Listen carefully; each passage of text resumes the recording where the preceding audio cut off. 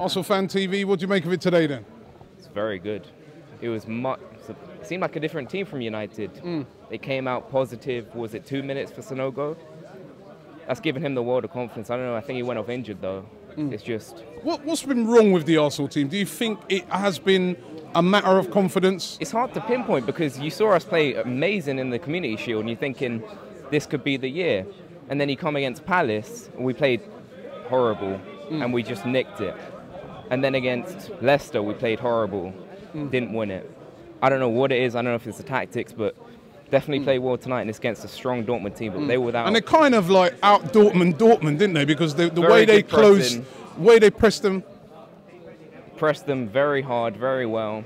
I don't think a player had a bad game. Maybe Aaron Ramsey was a bit of a passenger, Mm. but apart from that, they all play well. I think they're gonna.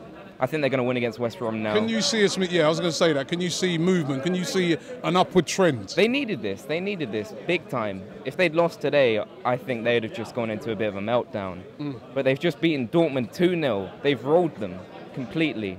And I think that's just going to give the world of confidence coming into the West Brom game. Then we're going to get Debuchy back, Kashoni back in the team. It's going to be good.